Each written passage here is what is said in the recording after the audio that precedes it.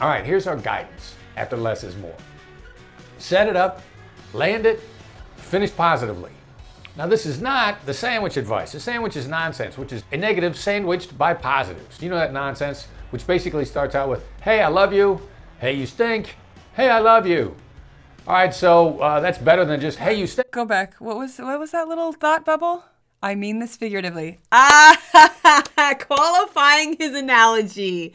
Okay, so the thinkers qualify emotions by saying, I have this emotion because reason, reason, reason, reason, reason. The sensors will qualify analogies just so no one is confused. I'm just using an analogy right now. Right. wow. That's so good. Like this cute little thought bubble. Yeah. Just so you know, I'm just Right. I'm just using this figuratively. Right, because what have we been listening to the last 20 minutes? Yeah. Like super physically grounded, Yeah. borderline boring, obvious, Right. simple information. Right. And then as soon as he goes up into the clouds, ah, disclaimer alert. Yeah. I'm not responsible for intuition. Right. I'm glad you caught that. Very interesting. Here's another tip on emails. Do emails have tone? Remember, the tone that it's going to be read in is not the tone that was in your head when you wrote it.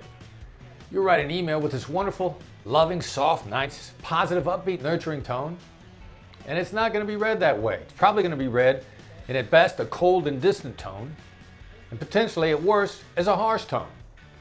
I once sent an email where somebody asked me a question, the answer was no, and I wrote, no, because I heard in my head that I was going to say it soft and gentle like that. Well, you send a one line, one word email no when you mean no. The other side's going to hear no. Here's some more great advice on how to think about tone in an email. There you go. Some great advice. Don't say That's it. No. Okay, so tone. Great that's, advice. That's definitely a very yeah. this is still this is still a drink eight ounces Yeah. of water conversation, but uh, that's fe talk. I don't. Right. I don't. Uh, you know. I get it. I understand that. That makes sense to me.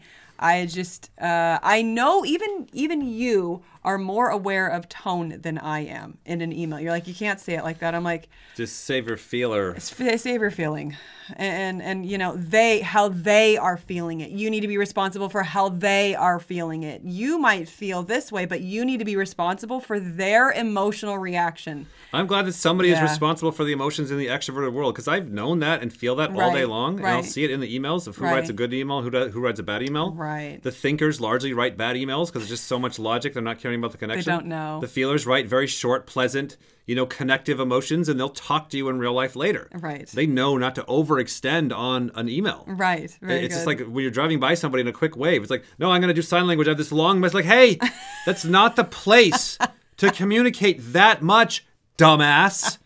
Just wave. Emails are not Oh, for I your know. demon emotional processing. That requires human connection. Remember that thing like 95% is not what you're saying? it's how you're saying you it. silly ass thinkers. it's your tone, your emotion, your body language, your facial expression. I know Send. I know Reply. All I want to do is just give them the straight info that they need. I just Right. literally want to do a quick, short bird chirp that is a news report. That's Yeah. all I want to do. right.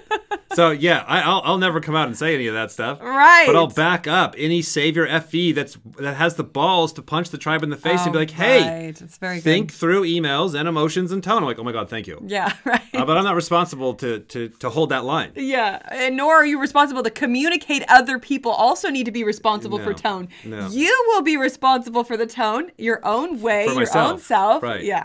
I may pull my close friend aside and be like, hey, jackass, don't. You're fucking it up. That's But true. I, I ain't gonna die on that sword. No, it's not your blaster lesson. Right, right. Uh, my email address is pickle tickle fruity bitch at gmail.com.